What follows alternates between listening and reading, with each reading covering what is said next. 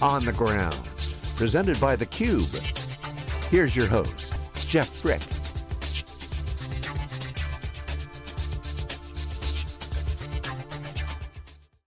Hi, Jeff Frick here with theCUBE. We are on the ground at the Mission Bay Conference Center in downtown San Francisco at the blockchain conference. Blockchain is really busting out beyond Bitcoin, which is kind of the traditional underpinnings of Bitcoin, but it's getting a lot more traction well beyond the Bitcoin ecosystem. And so we were really excited to come up here and see what's going on at the conference. And we're joined uh, at our next segment by the head of the conference, Pete Harris, conference chair, the Blockchain Conference and also Lighthouse Partners. Welcome and thanks for inviting us. Thanks, thanks, thanks, thanks for inviting me. Absolutely, so how many people are here? Give people kind of the rundown on, on yeah. the conference.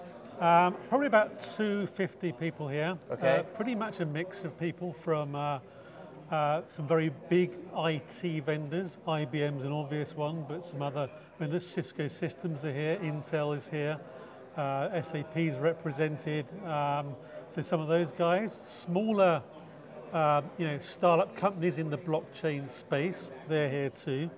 And also some very big, what I call enterprise IT users. A pretty good contingent from financial services, which is a little bit surprising to me because I'd have expected uh, to get a good number if this, this, this, was in New York City, but here in San Francisco, still got a lot of people here, and they've come in from a long way away in some cases, not just Wall Street, but we've got uh, the CIO of UBS here from Australia. So um, I think 13 or 14 countries here. So it's kind of interesting on the financial services side because Bitcoin was a way to get away from the trusted third-party intermediary, yeah. but the financial companies are here. Right. Is it because of the stick? Is it because of the carrot? Why, why are they? Uh, why do they think they're getting involved? I, I, I think it's very much the carrot, and it's really the, the, the blockchain, you know, blockchain technology as, as a as a concept really, really has uh, the promise to reduce costs, reduce friction um, of the whole financial sort of markets, you know, post-trade process. I think that's one big reason. Um, it really, it, it, fundamentally it reduces cost in a number of ways. It reduces risk, which in itself reduces cost. Regulators like it because regulators don't like risk. Um, it is actually very transparent, uh, so again, regulators like it.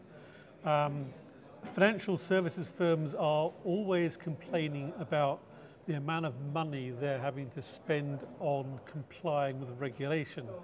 And so if they can, you know, can implement a technology which the regulators like and which costs them a lot less, it's a real win-win for them. And if they can then use it to actually make more money on, on you know, if you like, the top line, that's, that's a triple win. So that's an interesting point because a lot of people perceived at least Bitcoin as an application within blockchain as a way to get around right. regulation, to get around you know, trackability, yeah. right? It's anonymous. Right. So how does it play with you know, the SEC and banking regulations and all this stuff that comes with established financial services right. companies, not to mention when you get into other uh, industrials that have, again, compliance, those types of things. How does blockchain fit? Well, uh, if, if it was simply a, you know, a Bitcoin world, I think yeah, there, there definitely are issues there. but what's very much happened in, in the blockchain world is that um, because a lot of the, the major banks have become interested in it for those reasons, uh, those, those entities understand regulation and understand the needs of regulation. So they're coming at it from the very first stage of saying, we like this idea of blockchain, but by the way, what, you know, how it works right now, not going to really work. If, if we can improve upon it in certain ways about security, transparency, um, uh, compliance, yeah, we, we can buy into that. And, and what's happening now is that the, the blockchain sort of vendor community partnering with the large IT vendors who are going to be very important in this are really sort of coming up and saying, yeah, we, we can implement blockchain technology in a very uh, acceptable form for big business. Right. Not right. happening yet, but is on the way. Right. And that's where you get somebody like IBM. I asked you before we came on air, what is the big surprises? Yeah. The fact that IBM is here with yeah. a significant presence and a significant investment. Right. So what does that really say to the evolution of blockchain as it, as it grows as a, and matures as a technology? It, it absolutely legitimizes it. Um, the fact that you know, IBM's been working on on blockchain technology for, I think, a couple of years now. I think as uh, we heard earlier from, from John Wolpert from IBM, and he was saying they've, they've got an army of people now working on it, uh, and they are they're spread all around the world. Um, they've got a lot of expertise. They, they've donated, donated a lot of their, their, their code and their intellectual property to the open source world, which is going to just bolster its adoption. So, so I think having a, a company like IBM really helps to push this technology along, which is why you are now seeing a lot of other big IT companies sort of very much get involved. Quite a few of them are here, um, partly because they want to know more about what IBM's doing, and they, they want to figure out how they should be getting involved. Right.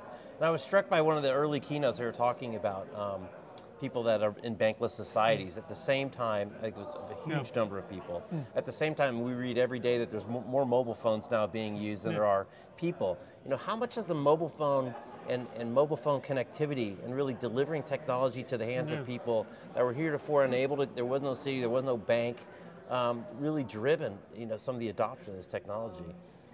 I think it's definitely played a part. Um, you know, I think I think mobile uh, as a general concept has really changed an awful lot, lot of you know, business. Um, and I think certainly now uh, banks see mobile technology, which really can be obviously you know, be you know, created by non-banks, offering services over mobile technology. That they really see it as, as um, really a potential disruptor to their business. So the banks want to you know, understand about mobile technology and it definitely has it, a play in the blockchain and Bitcoin world because it's a it's really an on ramp to the blockchain. Right, or, because one, you can, one of the on ramps. Yeah, and you could deliver yeah. such powerful technology yeah.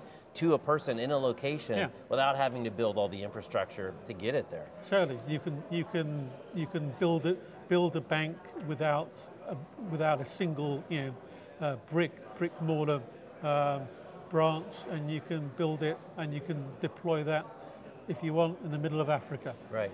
The other thing that came up in one of the keynotes is really the concept of friction, and friction in financial transactions. Mm. And removing friction is a you know, business 101 way to unlock right. value, whether right. that's in your supply chain, your financial transactions, a lot of places yeah. if you remove friction, that's usually money.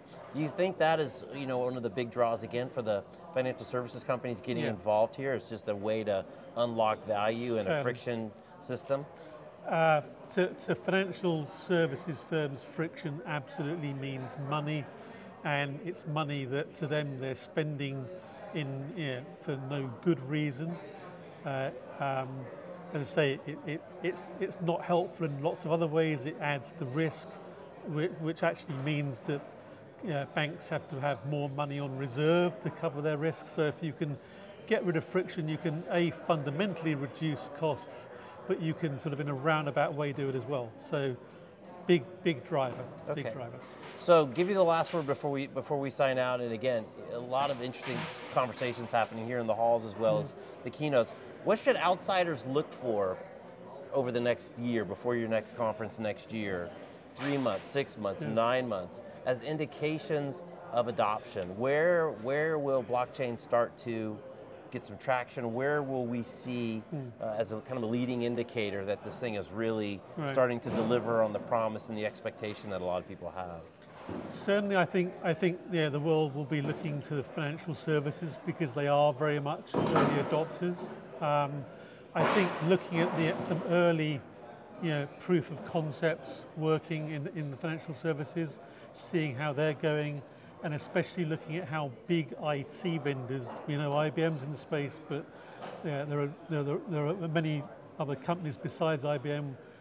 Know, we should be seeing those those people get involved as well. And if they are, then it's here to stay. And if they're not, there's a question mark. All right. Well, Pete, thanks for taking a few minutes out of your busy day running no this show. Absolutely. It's good to see, good you. See you. Jeff Frick here with theCUBE. We are on the ground at uh, Mission Bay Conference Center in San Francisco at the Blockchain Conference. Thanks for watching. We'll see you next time.